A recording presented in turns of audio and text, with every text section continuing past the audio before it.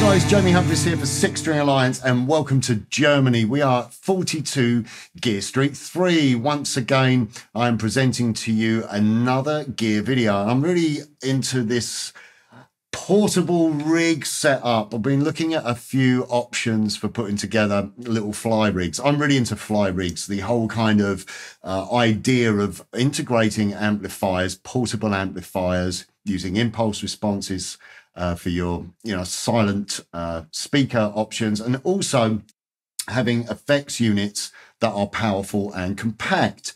So we are looking at the brand new Diezel Mini amplifier. This thing is an absolute beast. I'm running it with the HX Stomp XL. I've been using this for a few demos now. Um, for those of you that have seen uh, my channel uh, uh, or seen videos of me shot in the control room, uh, you would have seen my rack of doom, which is uh, laced with uh, vintage, I can say vintage Line 6 gear now because they've been around for such a long time, using the old Echo Prime Mod Pros. And also on some other videos, I've been using the HX Effects, and I've just been introduced to the HX Stomp XL, which is an updated version of the HX Stomp. And this is a very, very powerful unit. So we've just got this here um, primarily just to give me a little bit of. Uh, a little bit of sponginess and confidence boosting when I'm playing uh, to cover up any sins. We always cover up some sins with delay, but I like having a bit of delay in the effects loop. Uh, we're running the Diezel into the Captor X up the back there with an impulse response on it. So this is all kind of gear that you will see me using back home in my own studio in Stockholm. So onto this amplifier. So it's a little bit of a uh, bit of a launch video really, and uh, this is brand new out. Now, the Diezel amplifiers obviously need no long introduction. I actually know Peter Diezel um, for many years ago, and his amplifiers are built like absolute tanks. I actually demoed one of his amps, and I can't remember the name of it. I demoed it for Guitar Interactive many, many years ago. One of the things I love Diezel amps. I love the sound of them. Obviously, you can uh, see Matt Bellamy from Muse has used Diezel amps, and uh, James Hetfield has used Diezel amps. This goes on. Loads of people use these amplifiers. They're incredibly um, uh, uh, high gain and really well voiced. Lots of low end. So this is like a kind of slightly more budget friendly. I don't like saying cheaper because I don't believe in saying cheaper. I like to say budget friendly. I think these days when I was young, um, back somewhere in the mists of time, you know, if I spent 250 quid on a guitar amplifier, it was guaranteed to sound like crap and not be that good. Whereas these days, you know, it's possible for you to to spend relatively, you know, inexpensively to achieve good equipment. And if you just go that little bit further, um, you can get some really good equipment. And the price point of this amplifier is incredible. You're looking at around uh, 300 euros, I believe, about 250 pounds for this, which is insane. Uh, the front panel of it is a little bit uh, um, a little bit more straightforward than the Bogner. We were actually looking at the the little Bogner amplifier. I'm going to put that there. Um, the guys at Boutique Amp Distribution are, are kind of branching into these slightly more cost-effective, smaller solutions. Uh, the we have the Bogner, we have the Friedman one that's been out for a while, which absolutely took the internet by storm, and now we have the Diezel. Um, I haven't played the Friedman one yet. We're gonna have to get that one out, I think, but uh, I'm very much into this uh, this Diezel. So the front panel of it a little bit more straightforward. We have a master control. We have a deep and uh, which is obviously the low end. That's kind of your post um, post preamp low end, so like on your power stage, and the presence control. So you can add a little bit more thud to the tone, and you can also add a little bit more top end sheen. We have bass control, mid range, and treble control, and we have gain. This is a 30 watt amplifier, and we also have an effects loop. That's how we're running the line six for a little bit of post effects, a little bit of uh, um, uh, uh, delay and some reverb as well we have. So let's have a, an experiment with controls. First of all, let's drop the gain control down. Should mention the guitar. Ernie Ball Music Man. What can I say? Been using them for 23 years. So I'm using a Luke. This is a Sterling by Music Man Luke. And uh, it's a great guitar, lots of options with the five way switch. We've also got a boost control on this guitar. I actually have the same boost on my custom Axis that I own. Uh, it's really nice. If you want to go one louder, then you can just hit that control. So.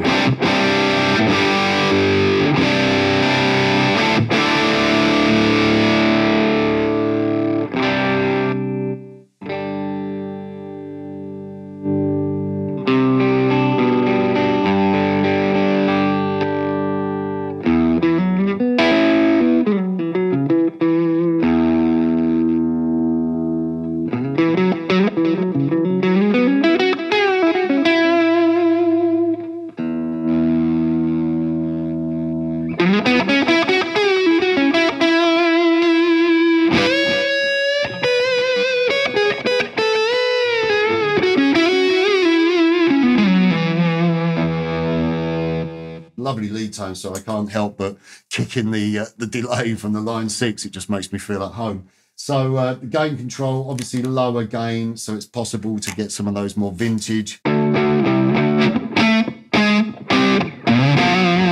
a little bit of reverb from the uh, line six.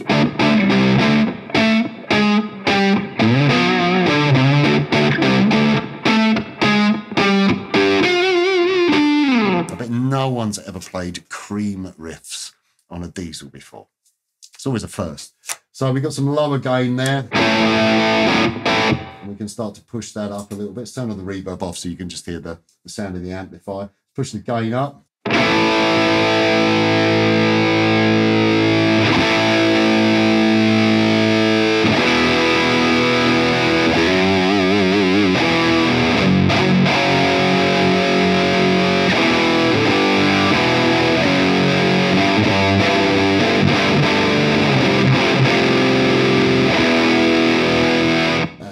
Ridiculous. That is absolutely ridiculous. So let's have a look at the, the EQ controls, the top end.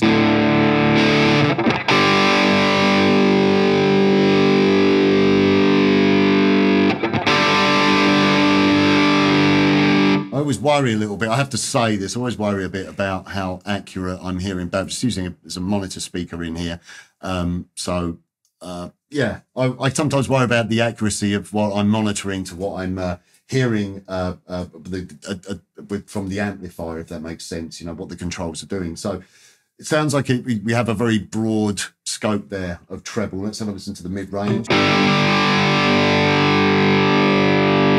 Yeah, that's a really good control.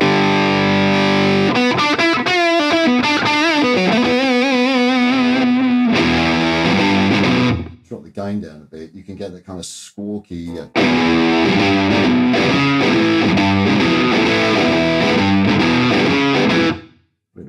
This is fantastic.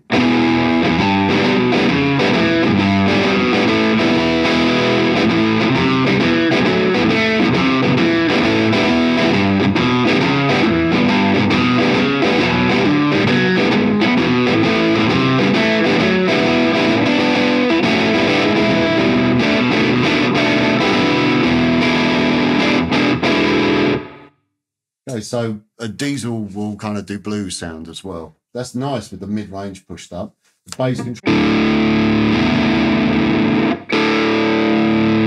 That's really, really reactive um, control.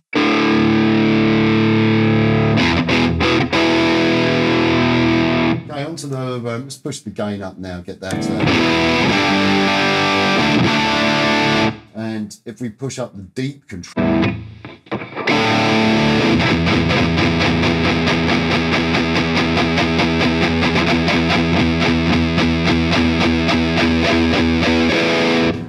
That's a great control that. I'm going to get my massive fingers on the knobs there. Um, that's a, a, again, it's really impressive how much range these controls have in terms of affecting the EQ. And then we have the the uh, the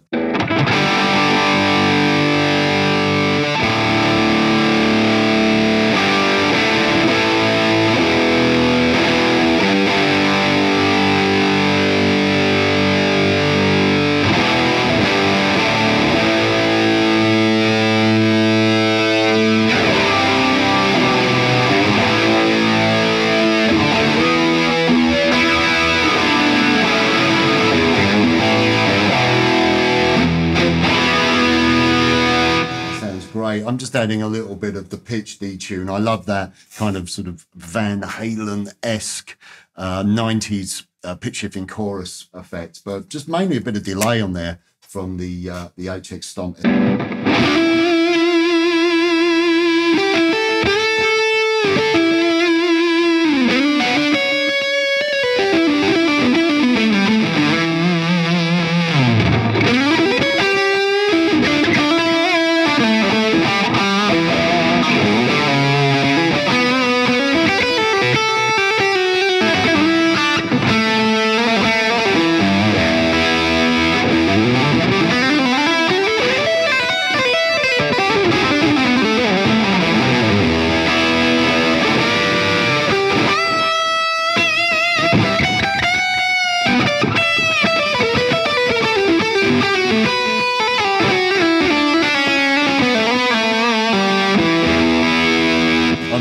Sorry. It's just a fun amp to play. So again, you know, a fantastic portable solution. You've got an incredibly powerful effects unit there with the HX Stomp XL. We've got that running in the effects loop, just adding a little bit of delay, really. I just like having a bit of digital delay on my sound. And then the portability of this 30 watt Diezel. This is a fantastic amplifier. I think uh, I've played the other amplifier.